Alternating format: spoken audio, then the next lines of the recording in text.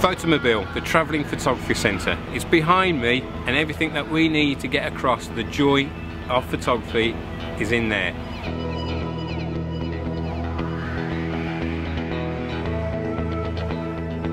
Today we're at Norris Bank Primary School. We've had 14 students visiting the unit at any one time. Seven in the darkroom, seven in the digital area.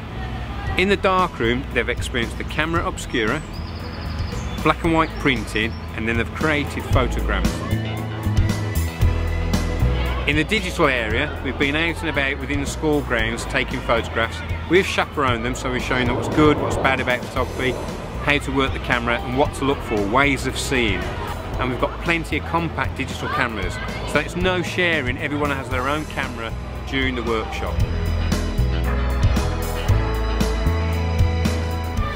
I'm Eva, 8 going on to 9. I'm Tracy, I'm 8 going on to 9 as well. Today the Photomobile visited our school, Norris Bank Primary School. It was really good. It, It was was amazing. absolute flabbergasting. The unit is totally self-contained. We can tote to schools, community groups, youth projects, anywhere that there's a hard standing.